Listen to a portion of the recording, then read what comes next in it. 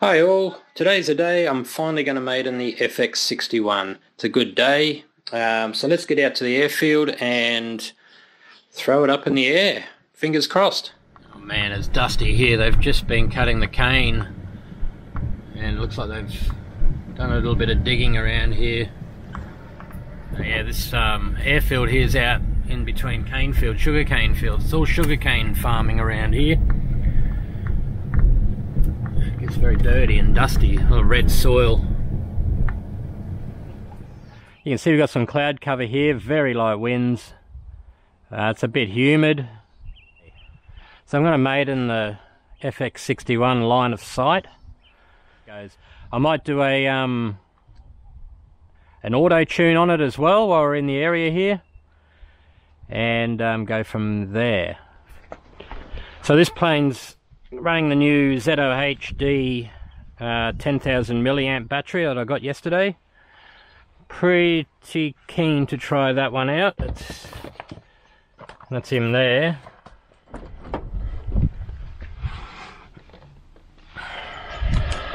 Welcome to OpenTX.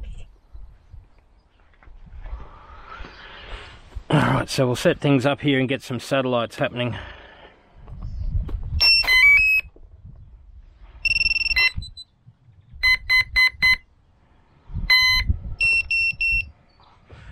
All right, so we got, I got some satellites here now. I got it, um, it's a bit slow picking up the satellites. It's not a great day for a great KP reading from what I looked at, but we've got eight to nine satellites at the moment.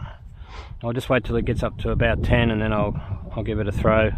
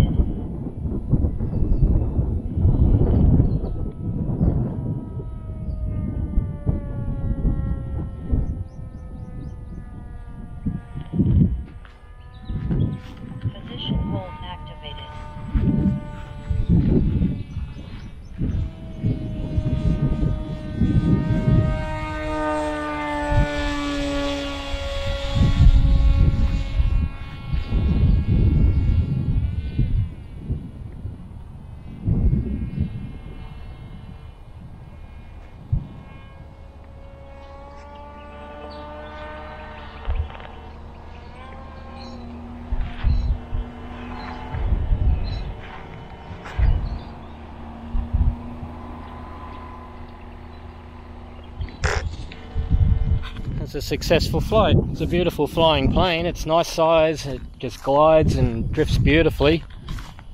Um, I was unable to do my auto tune because I found out the battery in the laptop's flat. There's always, I don't know, I always have some sort of issue when I come down here, but but anyway, other than that, it was a good flight from the FX61. It's a beautiful plane to fly. Hopefully I'll have some onboard footage from the RunCam split to show you. It'll be nice and clear.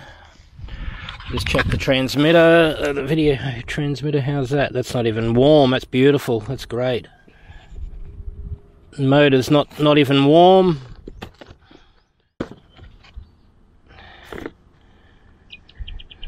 Battery's good, slight warmth to it.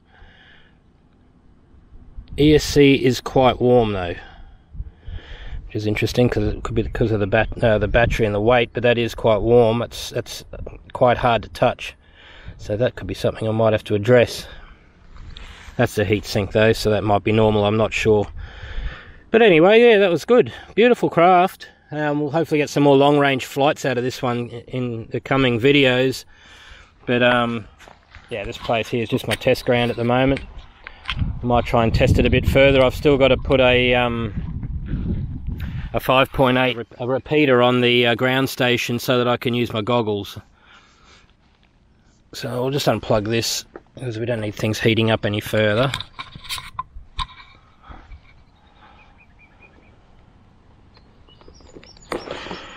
and we'll get it into the shade. The only thing I'm concerned about its launch, it's quite heavy. It's quite heavy. Um, when you launch it, it seems to really struggle to pull itself up in the air, which is something I'm going to have to really sort out because I was a bit worried when I launched it. We've got some trees over that side there. I was one stage I thought I wasn't going to get up over it, which it should be a lot better than that.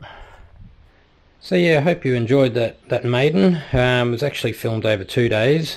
Um, the FPV side of things um, with RunCam split didn't work the first day, so I re-recorded it the second day, which is why you see more cloud cover in the video. But both times the plane flew the same. Needs a little bit of tuning. Um, but other than that, um, it flies very nice It flies very nice. It's been a long time in the making. Two years I've had this plane for. It's finally maiden after all this time due to issues and uh, all sorts of things. So hopefully we get a lot more flights out of it um, in the future. Anyway guys, until then, stay safe and see you in the next video. Bye for now.